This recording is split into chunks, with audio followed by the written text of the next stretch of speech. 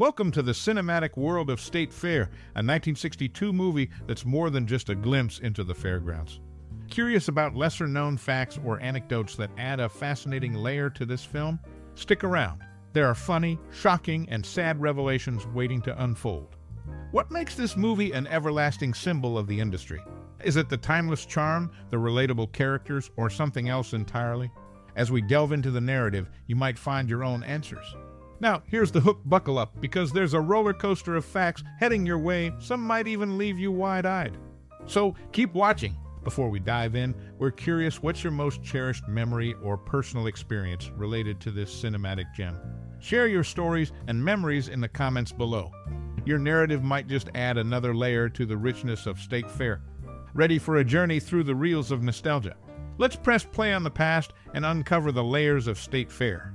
Your anecdotes and insights are the missing pieces to this cinematic puzzle. Don't be shy. Drop your thoughts below. Excited to hear your stories.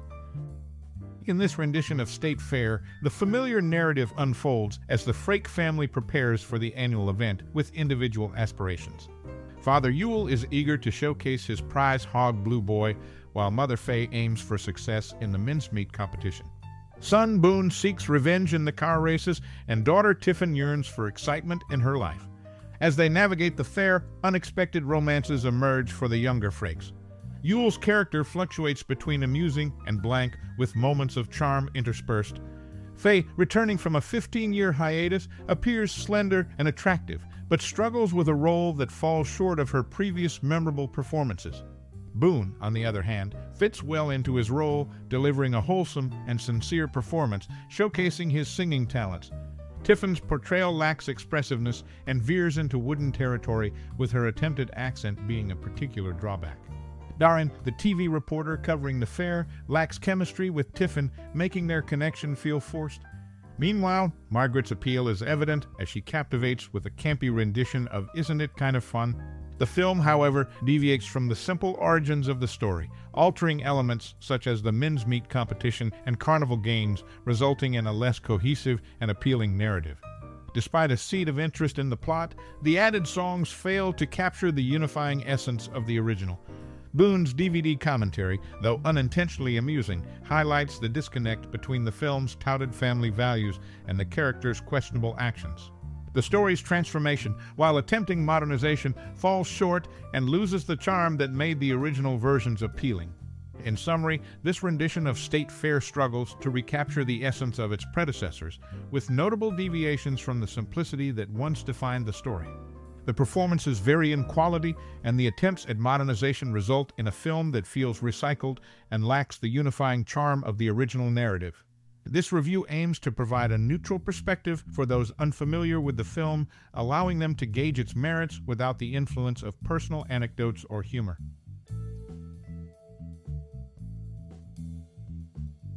In the 1962 rendition of State Fair, notable changes were made from its 1945 predecessor.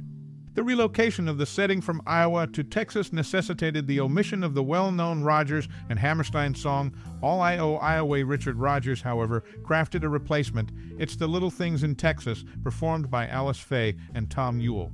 Faye's musical moment in the film, Never Say No, underwent edits in the final release, reducing it to one verse and a chorus. Interestingly, the complete pre-recording of the song can be found on the Dot Records original soundtrack album. A peculiar aspect arises in the 1999 Varèse Sarabande compact disc remastering of the soundtrack. The orchestral timing discrepancy is evident, with the orchestra consistently lagging or leading the singers on various tracks, notably noticeable on More Than Just a Friend. These insights provide a glimpse into the nuances and modifications made in the 1962 adaptation of State Fair, shedding light on the creative decisions shaping its musical landscape. It's a fascinating exploration of how alterations in locale and post-production choices can impact the cinematic experience. Barbara Eden and Andy Williams underwent screen tests for the roles later portrayed by Ann-Margret and Bobby Darin Eden, displaying significant vocal talent, showcased her abilities years later in the television production of Kismet, where she portrayed Lalume. The nail-biting speedway sequence was authentically filmed at the Oklahoma State Fair Raceway in Oklahoma City. The enduring Great Plains Coca Cola bottling facility on May Ave serves as a backdrop, its grandstands having been demolished in August 2010. Initially planned for Todd-AO, a 65mm process with 70mm prints, the film ultimately adopted 35mm cinemascope, likely due to budget constraints. While some test footage and exterior shots were in 65mm, the existing material remains part of the Fox stock film library. This insightful information sheds light on the casting considerations, authentic location filming, and the film format shift during the production of State Fair in 1962, providing a glimpse into the filmmaking decisions shaping its narrative. All data is reliably sourced, ensuring accuracy in the details presented. Anita Gordon, not Marie Green, as some sources suggest, provided the singing voice for Pamela Tiffin in the 1962 adaptation of State Fair. Gordon later extended her vocal support to Jean Seberg in Paint Your Wagon. Intriguingly, a seldom seen end title sequence graces very few prints of the film. This sequence features a choral rendition of It's a Grand Night for singing accompanying a photo montage of the cast. Derived from an outtake, Tiffin's footage seems out of place, set in her bedroom, an area unseen in the film. This footage likely originated from an alternate take of it, might as well be Spring, initially filmed in Margy's bedroom, but discarded in favor of an outdoor version in the final release print. The strategic move during the 1962 State Fair release involved halting the distribution of earlier versions to avoid competition.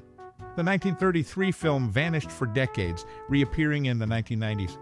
The 1945 version resurfaced on television as it happened one summer, minimizing confusion with the 1962 release, which was also leased to local TV stations. Returning to 20th Century Fox after nearly 17 years, Alice Faye came out of retirement to reunite with friends from her Fox days, Don Ameche and director Henry King. However, Ameche was replaced by Tom Ewell, and director Jose Ferrer took the helm. In a notable shift, Wally Cox made his film debut in this production. Director Jose Ferrer's son, Gabriel, later married Debbie Boone, the daughter of Pat Boone. These personal connections add an interesting dimension to the film's behind the scenes dynamics. All this information is sourced from a reliable website, providing straightforward insights into the casting changes and personal connections within the production of State Fair in 1962. It's a glimpse into the human aspect behind the camera, offering a unique perspective on the film's development. In the 1962 adaptation, Pat Boone and Bobby Darin never share a scene, echoing the non interaction between Ann-Margret and Pamela Tiffin. Interestingly, both actresses later co starred in The Pleasure Seekers. The film's lush score, unmistakably crafted by 20th Century Fox's Alfred Newman and Ken Darby, reflects their prior successful collaborations on Rodgers and Hammerstein projects. Their expertise in enhancing musical compositions, utilizing multi track stereophonic sound, is evident in the film's rich adaptation compared to the more modest 1945 version.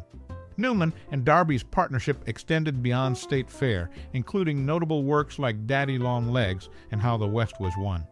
Ann-Margret made her cinematic debut in this film, shot before her generally recognized debut in Pocketful of Miracles, which was released prior to State Fair. All details are derived from a reputable website, ensuring accuracy in the information presented. Fox revisited Phil Stong's novel thrice, with the 1962 adaptation recycling the 1945 song score in stereo and widescreen. Despite initial dismissal, it has gained a loyal following over the years. In promotional materials for the film, Ann-Margret is flanked by a female chorus, yet on screen, the act features only male performers. During pre production, director Jose Ferrer suggested Ann-Margret switch from a brunette to a red haired look, a dazzling transformation that became her signature style. All source details come from a reputable website ensuring accuracy. This sheds light on the film's evolution and unique aspects,